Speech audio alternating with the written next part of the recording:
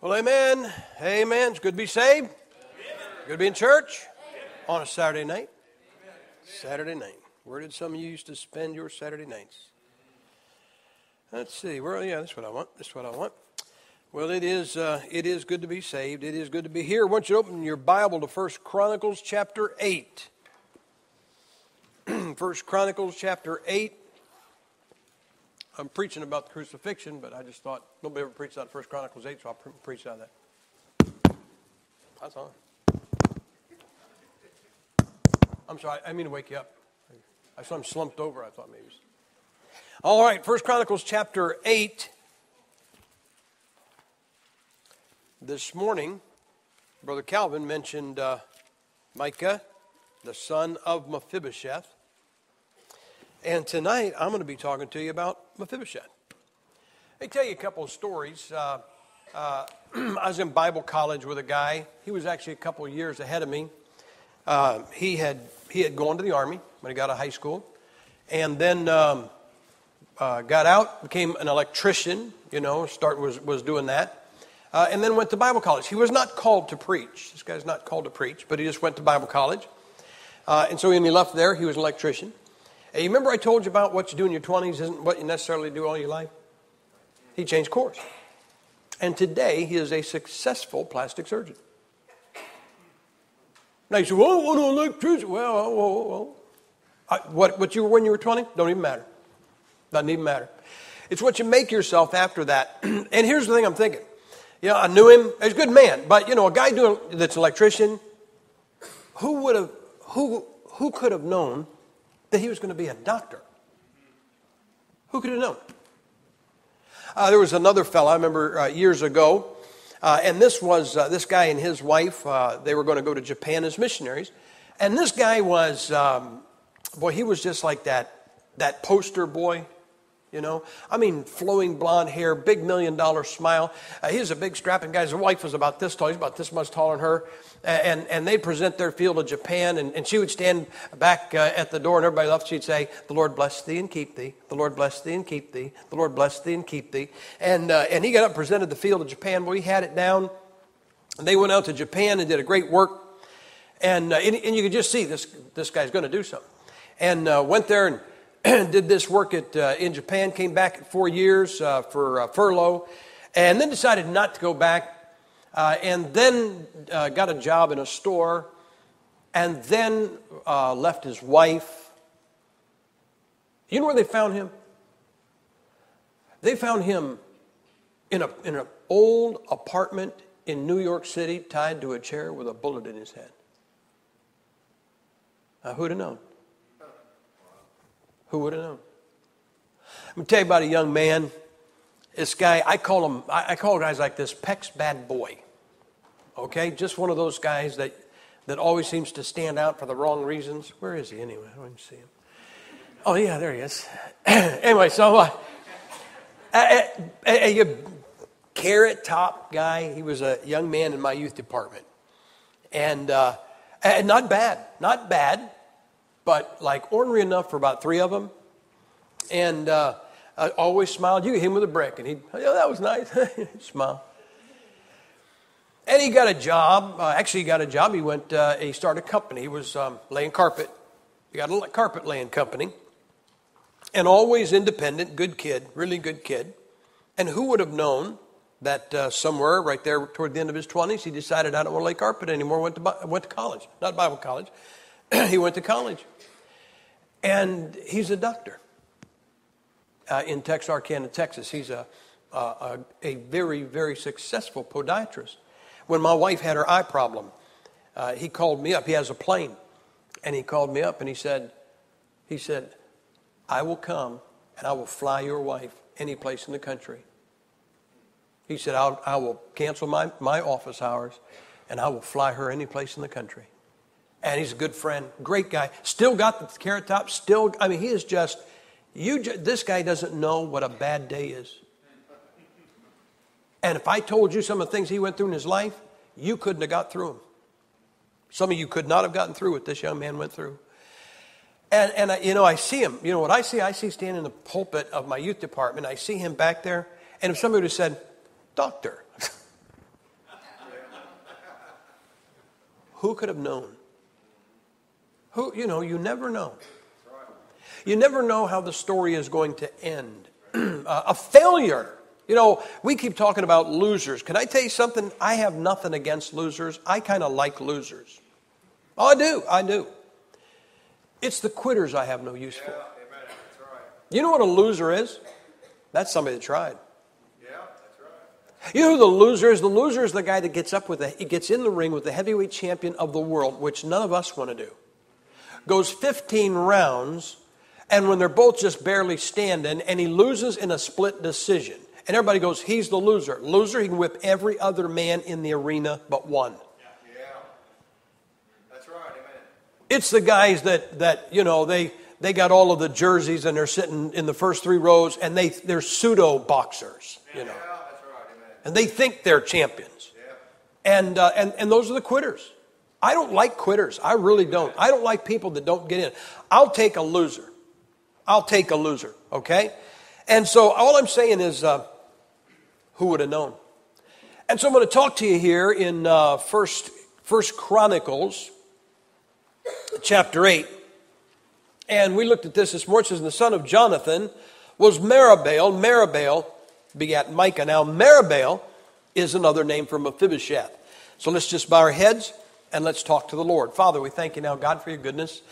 We thank you, God, for your grace. God, as we come to you tonight, uh, I want to say it. I believe these people agree. we have no problem with you because there's nothing wrong with you. Never has been. We have no problem with your book. God, you know what we're saying tonight? In this, just being here, we are telling you we'd rather be here than any place else. We don't want to be any place else on the planet, God. We'd rather be in church, and it's all because of you. God, I hope, I hope there's somebody here tonight that just didn't feel like coming. I hope they came with a headache. I hope they came sick to their stomach. I hope they came mad about something in their life. And I hope there's somebody sitting here that just said, Boy, for two cents, God, I wouldn't go, I wouldn't go to church. And they came. Bless those people who came when they didn't feel like coming, when they weren't happy about it, when they didn't physically feel like being here. Bless them, God, for their attendance. I really ask you to. And God, look this crowd over and look at where some of them used to be on a Saturday night. And check out where they are tonight. That's got to put a smile on your face. Now, Lord, we're in this service and this is for you. And I ask you now, God, look, I know there's a message to be delivered here, but you've got to get Sam Gipp out of your way and out of the way of these people if they're going to get it. So please do that, Father, for their sakes. Please uh, get Sam Gipp out of your way and out of their way and, and get your message across. God, accomplish your purpose in each life represented. In Jesus Christ's name we pray. Amen. Now, here's what I want you to notice about this. It says here, the son of Jonathan. Who was Jonathan? Who was Saul? He's king of Israel. So, Jonathan is in line to be king. Correct? And then he has a son named Meribbaal. What's that mean? That boy, that boy is someday going to be king. Correct? Now, I want you to think about what it, who, think about what it must be like to be five years old and you're going to be king someday. That's not bad considering King James became the king of Scotland when he was 13 months old. What did you give your 13 month old? I mean, 13 months old, and he became the king of Scotland. Now he wasn't aware of it, and it was it was reigned uh, it, it, was run by regents until he he came of age and could take the throne. but but here's this boy. You know what this kid is? All of his life. Here he's Jonathan's son. By the way, I don't know what any of Saul's other sons were like. We know Jonathan was a good man, wasn't he? Well, I'm telling you, brother, if he's around today, any man, any preacher, take him as a church member. He was just a good man. No vanity, no treachery. You stop and think about this. When, when Saul couldn't find David, and Jonathan said, Go hide in the woods. And when Saul exposed to, da- to, to Jonathan that he wanted David dead, it says Saul went in the woods, went right to him. Jonathan went right, uh, I'm sorry, not Saul. Jonathan went right in the woods to him. Jonathan went right in the woods to where David was hiding. He knew exactly where David was. was. All he had to do was tell his old man, send a patrol right there. You got him, and my throne is assured. So here this young this man is destined to be king. And so here you got this five-year-old boy. He was destined to be king. Can you see? And I don't think the five year old kid had uh, dreams of grandeur. I can't wait till I wear a crown. I can't wait till I have a robe. He's probably thinking, I can't wait till recess, okay? And so here he is, and he is destined to reign. Who could have known that at five years old he's going to run for his life? Who could have known when everything in his life was so blessed? When all the other five year olds in the kingdom would say, Boy, I wish I could be like him. I wish my future was his future. Who could have known that at five years old he's going to run for his life? Hey, guys, can you imagine what it must have been like? All of a sudden, the, adults are all scurrying, they're all running, things are being knocked over, people are crying. He sees women crying. He says, Here's people saying, We've got to get out, we've got to get out. And somebody said, Get the boy. And his nurse runs over and picks him up. And somewhere along the line, you know what he heard? His uncles are dead. They died in battle in Mount Gilboa. And he thought, oh no, my poor father, he lost his brothers. And he said, When's my dad coming home? And he found out his dad was dead. He thought, Well, my grandfather Saul, he'll take care of me. And he found out his grandfather was dead.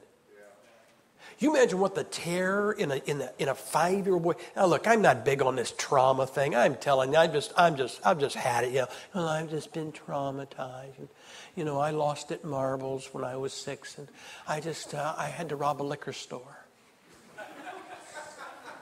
I am so sick of everybody being a walking, talking psycho, but I'm going to tell you something, pal. If you were five years old, your grandfather died, your father died, your uncles died, you're carried out someplace, and, and, uh, and, and your whole absolute life changes.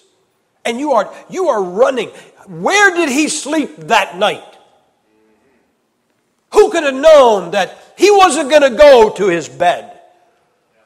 Who could have known that the usual nurse wasn't going to be there to read him a story and get him some hot milk? And, and maybe if he was a little bit scared, somebody would sit with him. And brother, that night he was scared. Who could have known? You know he didn't know? He's going to live his life in terror. He didn't know if his uncle Ishbosheth was going to kill him.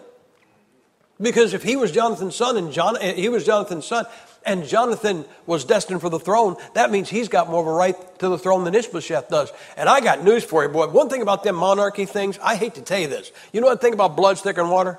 It don't work with monarchies. Buddy, those brothers killed each other. Them uncles, sisters, mothers, fathers, I mean husbands, wives, they killed each other. They had each other killed. There was treachery in those ranks. I mean, brothers killed brothers, uncles killed nephews, nephews killed dads. I mean, it was crazy. Yeah, that's right. So here he is, he's five years old.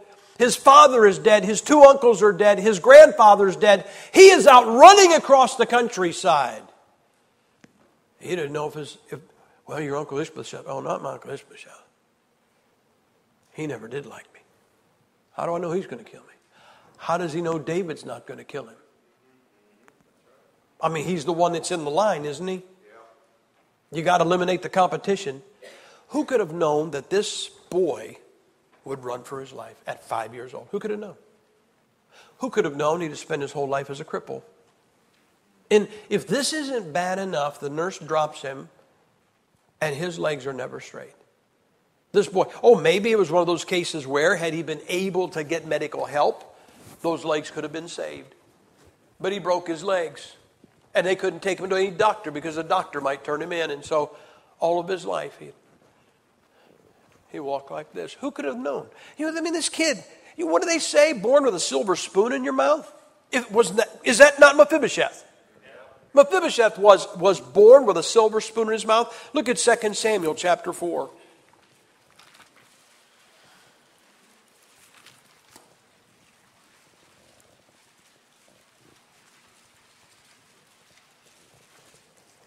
And Jonathan, Saul's son, had a son. Verse 4, uh, 4 4. Jonathan, Saul's son, had a son that was lame in his feet. He was five years old when the tidings came of Saul and Jonathan out of Jezreel. And his nurse took him and fled, and it came to pass, uh, as she made haste to flee, that he fell and became lame, and his name was Mephibosheth. Who could have known? Who could have known this kid that used to run and play in the palace? You think he didn't play in the palace? You think that he, he didn't have a couple of five year old friends and they played hide and seek? Man, they got those hangings and those tapestries all around, and there's some kid darting here and darting there. And, and, and you know, look, I'm tired of being the Philistines. You be the Philistines this time. and who'd have known this boy never walk right again? He would never walk. He would never be able to play again. Who could have known that he was going to be a cripple? You know, guys, um, things happen in your lives. Who could have known? I told you about that Kirby Campbell. That pastor, he pastored a church for 14 years, was doing a tremendous job. Who could have known going to, going, not for, he wasn't having a, a cervical fusion. They were using power tools next to his spinal cord. He wasn't a dangerous surgery, and it wasn't even the surgery that got him. He's going to have a, just a routine knee surgery, but the spinal got him. That guy can't, yeah, he just can't function like you and me anymore. Who could have known? Oh, he, if he could have known, I think he wouldn't have gone. What do you say? You know, I, break, I broke my neck, and, and I'm telling you, God has told so many people why he broke my neck. But he never told me. I have people all the time, I know why God broke your neck. Well, well good. I'm glad he told you because he never told me. He really didn't. And, and, and everybody tells me all the great things have come from it. I'm just so happy about it. Can I tell you something? The morning I got up that I broke my neck, God tried to warn me. Believe it or not, I can remember to this day, the morning of that morning, I'm driving my boss's dump truck. We're hauling gravel to another foundation. Don't ask me why, but as I pulled up on the scales to be weighed coming out of a landfill, I looked, and there's one of those safety posters, and it said, Beware of falls. Showed this guy falling like this. And it was like, and I'm telling you, say, how do you know God was warning me? Because I remember it to this day. I, I mean, I can, I can see it right now. I can, and, I, and you know what I, do you know what I said? You know how I know it was God? I said, God, why do I have to be where it falls? I'm driving a truck today. This guy's fallen in a construction accident. I'm driving a truck. Why did you point this out to me? If you'd have shown me one that said, beware of the intersection, I'd say, whoa, I'm getting a warning here. And I put it out of my mind later that afternoon, parked that truck, got up there, fell two stories. I'm going to tell you something. You tell me all the great lessons come from breaking your neck. That morning, if I'd known I was going to break my neck, I'd have called off. I would have opted out of all of those wonderful lessons, if you don't mind. What I'm telling you, you say, well, why you do it? Because you can't know. Who would have known? Who would have known that somebody in this room, you pop up, you'll be doing fine, all of a sudden you got a physical problem. The next thing you know, your life is absolutely altered, absolutely changed. Let me give you a book. If you like to read, get the book Unbroken. Unbroken. And it's about Louis Zamperini. Louis Zamperini was the man, he was an Italian runner, in, in uh, Roman Catholic guy, uh, raised in Los Angeles. And he was a track star. And he was poised in 1940. In the 1940 Olympics, Louis Zamperini was, was destined to be the first human to break the four minute mile. Everybody knew it. He was going to do it. I mean, he was doing it all the time in practice. And he was going to go to the 1940 Olympics and he was going to break the, the, the Olympic record. He was going to be the first human to break the four minute mile. I say, why didn't he do it? Because World War II came. There were no 1940 Olympics. And he ended up being a, being a uh, B, B-24 navigator, crashing into the Pacific. Spent more time, I think 45 days in a, in a, in a uh, uh, rubber raft with three guys. One of those guys died. I think maybe they all died. I'm trying to think one of them did. No, one of them lived. Two of them got there. And, and they're just 30 feet from an island where they'll, they'll be safe. Didn't they get picked up by a Japanese boat? Spent the rest of his, rest of his time in a Japanese prison cell. And I can't tell you how horrible it was. You need to read the book. Who would have known? You see what I'm saying? Guys, I'm sorry. Sometimes life takes some turns. Here's this kid. This kid, he didn't do anything wrong. He's five years old. You can't blame his nurse. You say, well, she dropped him. Well, maybe she did drop him, but she saved his life. Who would have known that he's going to spend the rest of his life a cripple? Who would have known that, you know, the marriage didn't work out? Who could have known? Who could have known that the great business that you dedicated to the Lord flopped? Doesn't, know, doesn't God know He was supposed to bless this because you were going to give Him the glory? Who could have known what would happen? Look at uh, 2 Samuel chapter 9.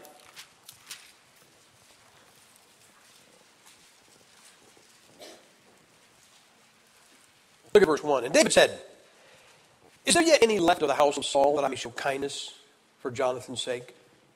And there was the house of Saul a servant whose name was Ziba. And when they had called him unto David, he said unto the king, uh, uh, the king said unto him, Art thou Ziba? And he said, Thy servant is he.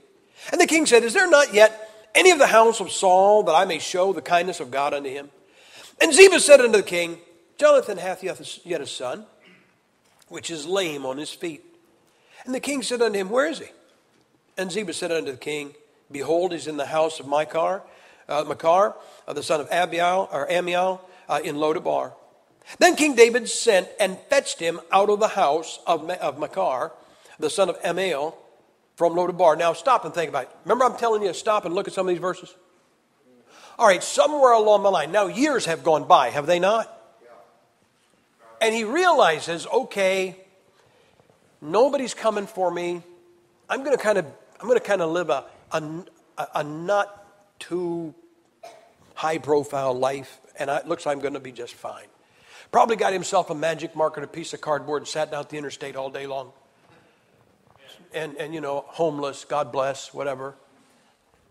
How do you think he reacted when somebody said, uh, I mean, some of the king's guards walked in?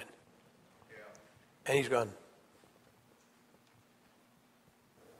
Well, you can't run for the door when you're lame. And you, they talk to somebody, and, and this is a real terror. You know what's really scary? When some cop talks to somebody and the guy points at you.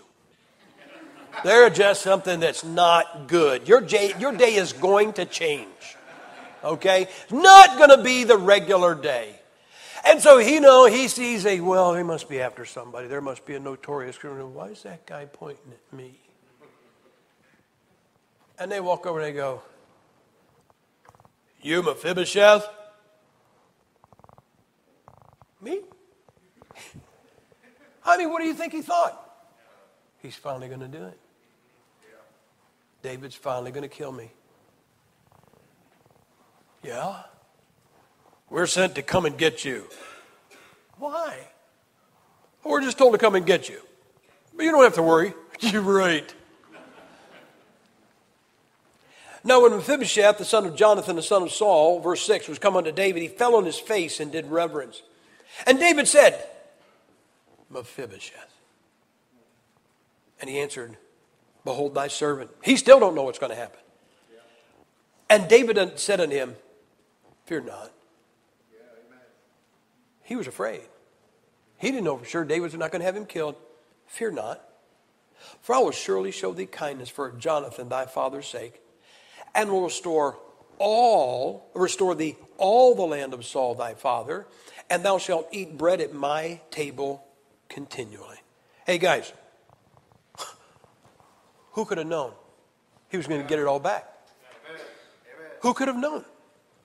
I mean, don't you think people came into Lodebar and they'd see this crippled guy and somebody would go, You know that guy is there?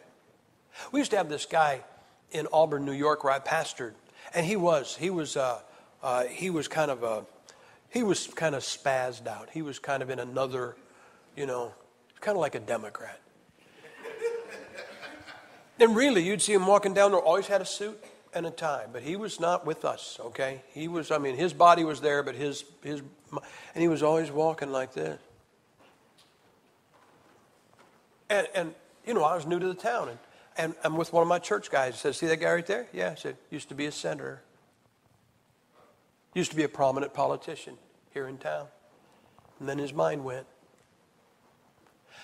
You think people in Lodebar and say, See that crippled guy right over there? Yeah. You know who that is? That's Saul's grandson. That is, that is Jonathan's son. I thought I heard he died. No, he didn't die. Man, they, they got him out when he was five years old. Look at him. Look at him. He can't even work a job. He's begging. Who could have known? Who could have known that this kid is never going to be hungry again? Yeah. Guys, he's not only getting the land back, he gets to eat at the king's table. Yes, no, who could have known? Who could have known that this, this homeless guy, who is there no fault of his own, he did, hey, listen, five year olds, they, they don't do anything worthy of what this kid went through.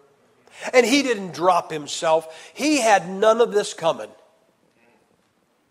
Who could have known that one day somebody take him out of a beautiful house, and old David say, uh, can take him out and say, uh, "Hey, Mephibosheth, you see this farmland out here? Yeah, that's just beautiful, David. Yeah, it's yours.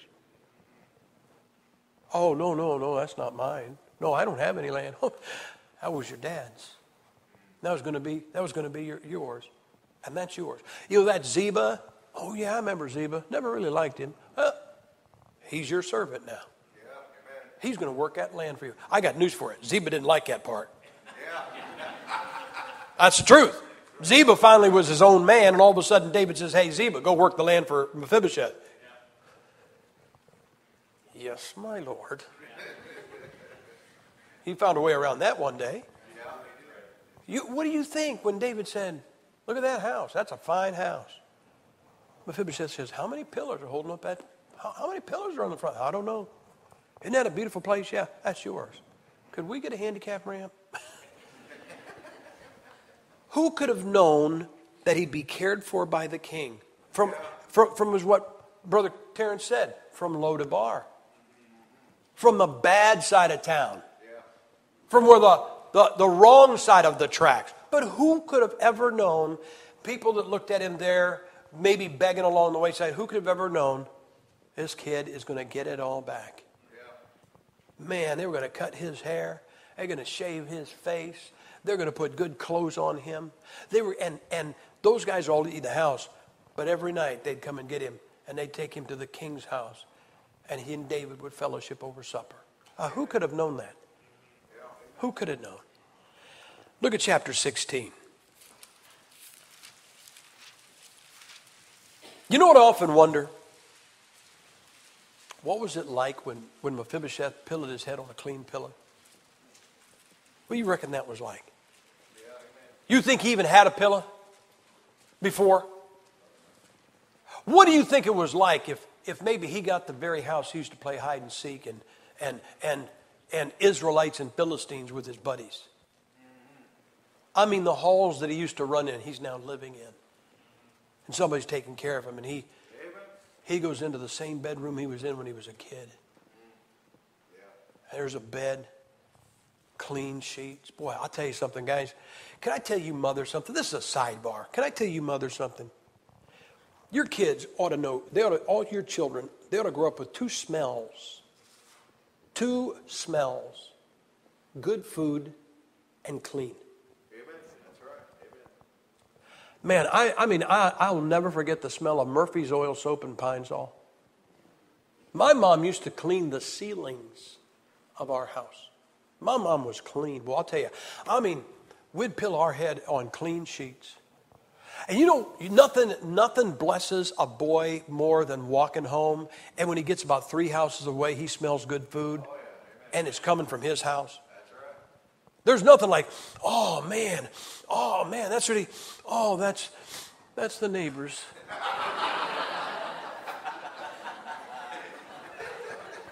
well, I'll tell you what, buddy, my mom was a good cook.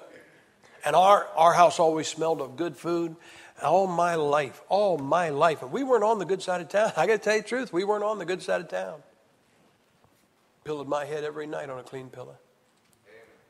My boys, the last 26 years that we've been on the road, I, I told you, you know, they spent their time, but I'd pick them up. We would, we would be in the van and we'd pull into between two idling semis about 3 o'clock in the morning, and I'd scoop those sleeping boys up and I'd carry them back this little trailer. And every night, you know where they laid? You say, that's an awful thing. They laid their head on a clean pillow and clean sheets. What do you think? I'll bet you for a while the smell of clean was foreign to Mephibosheth's nose. I'll bet you he would lay down and he smelled what? Oh man, I remember that when I was a kid. Yeah. In this very bed. Yeah. Amen. I'll bet you, I'll bet you the people cleaned his house, I bet they always found packs of crackers in his nightstand. well, I know I got all I could have, but you know, I just worry a little bit. you just never know, you know. I'll just put a little away right here. So, who could have known this? Look at chapter 16. And in chapter 16, Absalom is trying to kill his mentor, David. Absalom wants to kill him, wants to kill David.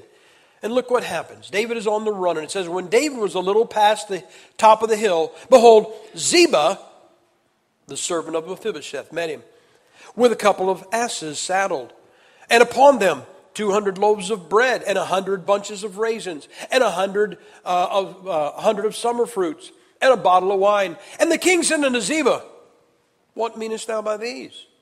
And Ziba said, The asses be for the king's household to ride on, and the bread and summer fruit for the young men to eat, and the wine for such as be faint in the wilderness, that, that such as be faint in the wilderness may drink.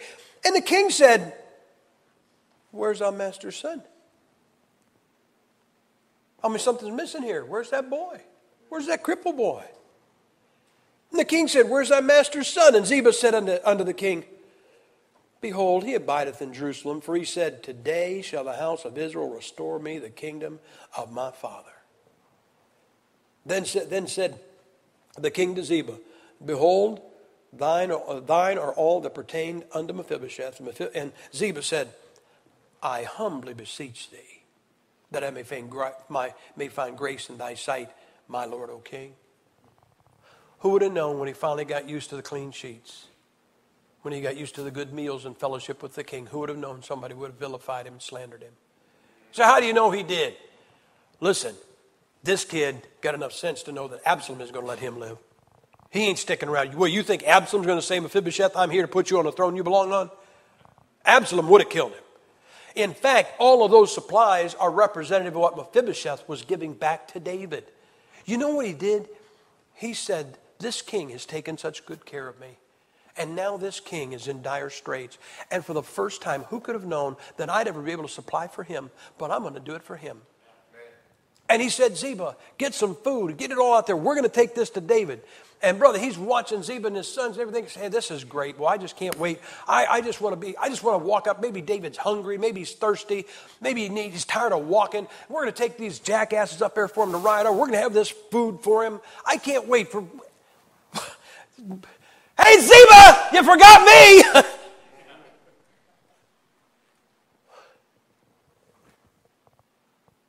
Where's he going?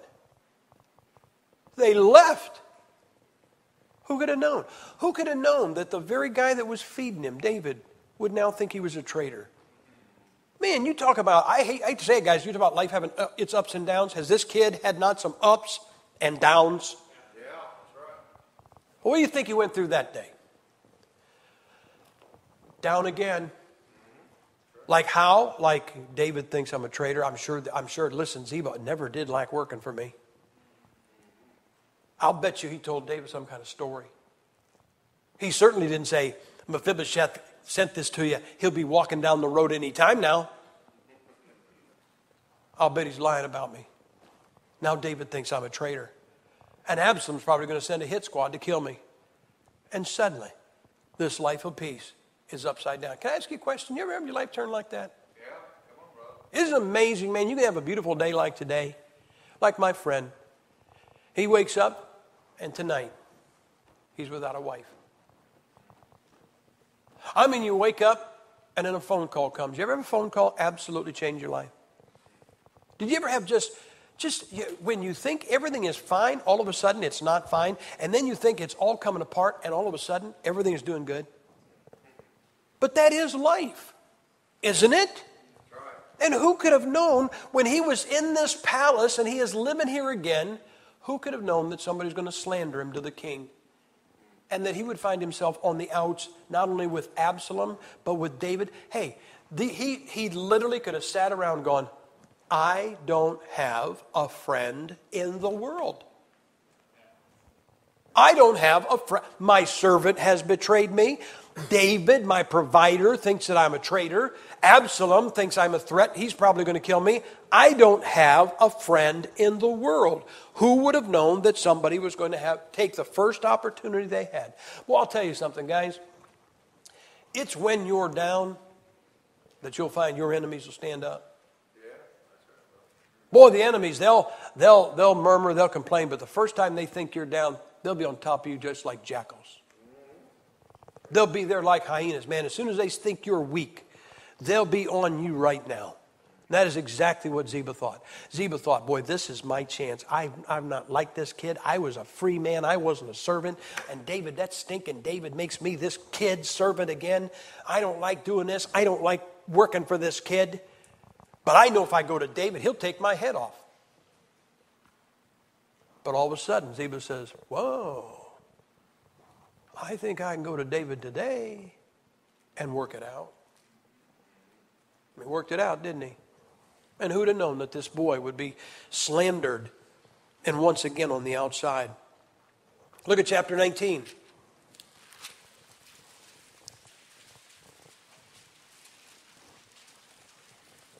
Chapter 19, David is coming home. Absalom is dead. Look what it says, verse 24. And Mephibosheth, the son of Saul, came down to meet the king. Now, here's how you know that he did not he did not betray David and say they're going to establish because from the day he left, he never took care of himself. He'd neither dressed his feet, nor trimmed his beard, nor washed his clothes from the day the king departed until the day he came again in peace. He never took a bath. He never changed his clothes. He apparently had to have his feet always worked on. They were always some, some open sore or something like that. He never took care of them. They're festering. He never trimmed his nails, never cut his hair, never trimmed his beard. But what else would convince David that this kid really, really was repentant, that he wasn't part of what Ziba said? And it came to pass when he was come to Jerusalem to meet the king. Now look at this. The king said to him, Wherefore wentest not thou, thou with me, Mephibosheth? Hey, Mephibosheth, uh, your servant came. Where were you? My loyal friends came with me. Well, why weren't you there? And he answered, My lord, O king, my servant deceived me. For thy servant said, I will saddle me an ass, and I will that I may ride thereon and go to the king, because thy servant is lame. And he hath slandered thy servant unto my lord the king. But my Lord, the king is like an angel of God. Do therefore whatsoever, uh, do therefore what's, what is good in thine eyes. For all of my father's house are but dead men before my Lord the king. Yet didst thou set thine, thine, thy servant among them that did eat at thine own table. What right therefore have I to, yet to cry any more unto the king? Look what it says. And the king said unto him, why speakest thou any more of the matter?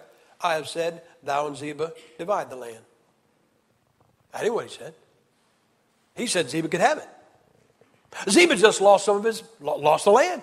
You say, well, he got to have half of it. Yeah, but who could have known that he's going to get reestablished again? you know what I think? I don't think that land meant anything. You know what I think? I think getting that relationship with David reestablished is what made so much to him.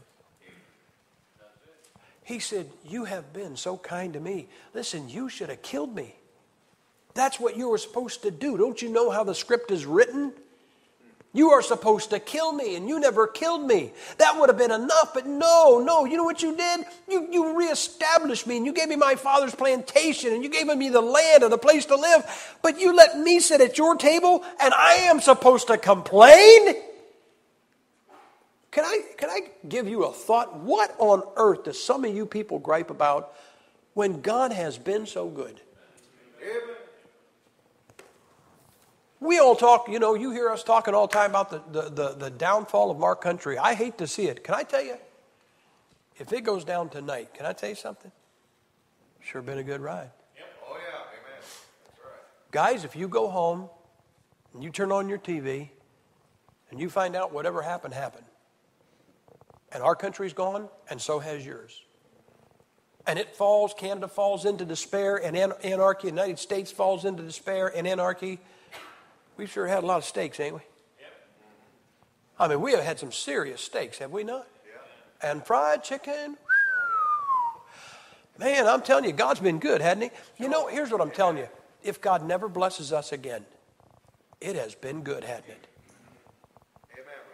And here was, here was this crippled boy, and he had a legitimate complaint. My servant slandered me. He told you a lie. But, and he said that, but he said, Oh, king, you don't owe me nothing. You never did owe me anything. Yeah. And all you've ever been is nice to me. Yes, amen. That's right. I got nothing coming. Who could have ever known that he would be reestablished? But the most amazing is not verse 29, it's verse 30. And Mephibosheth said unto the king, Yea, let him take all, for as much as my lord the king is come again in peace unto his own house. This is the most amazing thing of all. Who could have known that he'd never get bitter? He never got bitter. I've, I've studied this thing over the years. I look at people, I've talked with people for, for, for decades. I, maybe there's three. I know of only two. I can only think of two things that make people bitter. You know what it is? Just boiled down real simple getting bad that you don't deserve, or not getting good that you do deserve. Some of you guys, you got a job, and because you're the Christian, your boss passes you over, promotes somebody else, and after that, you start stealing the pencils from work. You start not working all of the hours that you turn in. You start cheating the place. You say, wow, well, you know what? They list that guy they, they hired. They, they, put his, they put his nephew in there. His nephew, he worked for the company for two weeks and he doesn't even know how to get out of a phone booth and can't remember the number for 911 to call for help. Everybody knew I should have had that job. They never gave, they passed me over because he didn't like my Christian testimony. I wouldn't drink at the office party. And suddenly, and now look, you got a legitimate complaint. You didn't get the good that you had coming. But don't let that get you bitter. That's right, amen. Or you ever have bad happen that you didn't have coming? This kid qualified on both fronts. Right. He didn't get good that he legitimately had coming, like the throne. But he got bad that he didn't have coming. He didn't deserve to break his legs. He didn't deserve to be a cripple. He didn't deserve to have somebody lie about him. Man, if anybody could have been bitter, if anybody could have been angry, this is the guy. Again, man, I'm sorry. You young people are so assaulted. I'm not, I'm not railing on you. I'm telling you, I'm not railing on you because, because it is not your fault. But you know what is amazing? This is one of the most amazing things. This generation, do you know what the most outstanding characteristic, characteristic is? They're bitter. I'm, and I heard that. And I see it in them. They're bitter. And I thought, for what? You know why? Because from this old, they've all been told they're champions. They've all been told they're going to get something. They've all been told they should have everything. They've all been told that everything is for them. It's all about them, and life is going to be wonderful, and you don't have to worry about a thing, and you're just going to make it. And then they get into life, and they're flipping. Hey, hey, hey. I see them in my country. You know where I see these teenage kids? They're on the corner with the sign that says tax prepare here. And they're, you know, spinning it. That's what they do. And you know what I thought when I saw those guys? Well, is, don't you train in your youth for what you're going to do all your life? I can see this guy 10 years from now with a piece of cardboard with a magic marker that says homeless gone.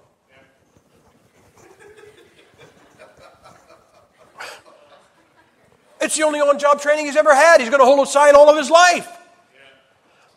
And they, you know what's happened? They told you you deserve something. Well, you do. Hell. But beyond that, you don't deserve anything.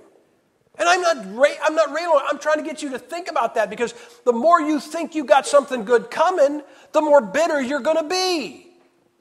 But none of us have had what this kid had. I don't care if you got a physical problem. None of us are royalty that have been cheated out of our throne. Because all the way through this story, no matter what you say, you know what he could have done every night of his life, even after he was reestablished with David. You know what he could have done? He could have pillowed his head on the new clean sheets with a full stomach. Just before he went off to sleep, he could have said, But I should be king. Right? He never did. So, how do you know? He wasn't bitter. He didn't get the good that he did have coming. And he got a whole lot of bad that he didn't have coming. And how did he end the whole thing? Oh, David, give, give Ziba all of it. I don't even care just to see you again, just to know you're okay. My goodness, what? Boy, you can sure tell he was his daddy's son. That, that is a son of Jonathan. You could tell he got that from his dad. He didn't get that from his granddad. He took after his dad. But isn't that something? And you know what I think? When I read this, I think of Jonah, the missionary to Nineveh. Didn't want to go. You know the whole story. He went. He's out there and, and he smacks God in the face. You know how he smacked God in the face? Says he built a booth and he's look, he's watching Nineveh. You know what he was saying? He wanted to see what was going to happen. He's going to, he was saying to God, Well, if you ain't God enough to take care of it, I'll see if a real God come by and destroy this city. You know what God did? Gave him a gourd so he'd be in the shadow. Did he say thanks? No. You know what he said? I do well to be angry till I die. Brother, that's a way to go, isn't it? I, I, I, he said, You're going to be angry all the time. I do, angry to be, do, I, I do well to be angry till I die. This is the only guy I ever found was mad because he was a success.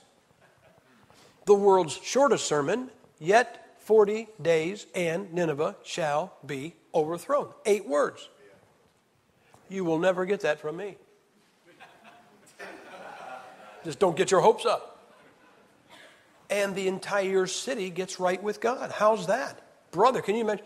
Uh, how things go up in Portage la Prairie? Oh, rotten, man. I got eight words into my sermon and the whole stinking city got right with God. I hate it. I wanted them to all die and go to hell. I mean, this is, yeah, really. This is like being the missionary to San Francisco, and they went and got right. What a dirty trick. And he's mad. He wanted to see him judged. And he's mad at God. Oh, look. Jonah's problems were, were made, he made his own problems. Mephibosheth was a victim of circumstances. You can't find one thing Mephibosheth ever did that, he, that, that, he, that you could say, that's why that happened. He's five years old. He didn't kill his dad. He didn't kill his granddad. He didn't break his legs intentionally. He wasn't gonna, he wasn't gonna uh, uh, betray David and think that, boy, now I'm gonna be king. That's what his servant said. You know that wasn't it. He never had any of it coming. I think he's probably purer than some, of, some of us. You know that? You know what I ask you? That's the last statement right there. That's the last words we get from Mephibosheth. The last words we get from Mephibosheth are, oh, David, just to see you, I'm, I'm fine, man. It's all good. The last words of Jonah I do well to be angry till I die. Can I ask you a question? What's your last words going to be? Now, these young people, this is out of your league because believe me, you're way far from your last words. You are, your, your last words are distant. And that's good. That's good. You got a whole life ahead of you. But some of you, some of you adults, and maybe some of you teens, maybe you need to get it all squared away now because if you get rid of the bitterness now, you can get through life. You'll do better getting through life. Well, I just don't know what my family life was like. Not only do I not know, I don't even care because I'm just filled with compassion from Jesus. I mean, if you don't mind, I'll listen. I'll listen to Brother Lowen's family play the violin. I don't want to hear your solo. You don't want to hear mine. Okay? That's the truth. I, I you know, I was at this meeting, and this woman, uh, you know, I shake hands when people leave, and I shake this woman's hand. My line, my line is, How are you doing? I see people, I say, How are you doing? And I asked this woman, I said, How are you doing? Oh, that was an open door. Boy, listen, when they start with their baby's second dirty diaper and go from there, you are here for the long haul. I mean, could somebody bring me a sandwich? I'm getting weak from loss of food. And you know what happens? The very next night, I'm standing at the same door. The same woman walks up and I go, How are you doing? I went, Oh, why did I ask you? You're going to tell me. And tell me, and tell me, and tell me. Guys, nobody wants to hear a complainer. I could show you uh, a pastor's wife, her husband went out on her, did her wrong, abandoned her, and left her and married another woman. You say, she was done wrong. Absolutely. She got bad she, she did not have coming. And you couldn't stand to be around her. Because every time, I mean, it's, it's been 15 years, and every time you see her, she rehashes that thing, and the next time she rehashes it again. You know, the first time you hear the story, you listen because you feel bad. This is too bad. The next time, you're going, boy, this really hurt her. After about the fourth time, you go, you know what happens? You see her coming, and you avoid her. You say, oh, you don't care? You get tired of hearing the story. Wait a minute, I'm telling you, she was right. But you know what happened? She got bitter. She got bad she did not deserve, and she let it get her bitter. Okay, so what do I do? I'll just give you a bad word, a terrible word, a horrible word. Forgive. You're going to have to forgive. So, who am I going to forgive? Whoever you're mad at. Who did you wrong? Who legitimately did you wrong? See, I didn't say, if you're bitter, I didn't say that you're wrong in, in your complaint. I'm not saying you're wrong in saying I had good coming and didn't get it. I agree with you. You're probably right. I didn't say you're wrong in saying bad came to me that I didn't have coming. I okay. But you're going to have to forgive whoever's in control. And you know who you might have to forgive? You might have to forgive God. You mean God was wrong? No. Well, God's never wrong. But he does do things we really don't want him to do. And sometimes you've got to forgive him. Sometimes you've got to forgive his plan for your life. That his plan takes you through a briar patch, it takes you past a coffin, it takes you through a hospital bed, it takes you through Lodebar or the belly of a whale. I mean, guys, the journey is not always as we would have it. Isn't that true? And I'll bet you I'm talking to more than one person in here. You'll never admit this because you don't like to frame these words in your mind, but I'm talking to more than one person in here. Your bitterness is really anger at God.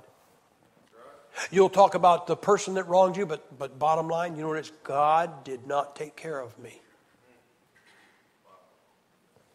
Well, then all I can tell you is be angry till you die or forgive him. Because you know when you forgive him, you'll have fellowship with the king again. Brother, you'll, you'll have fellowship with the king. And that is really good. I'd like you to stand with your heads bowed.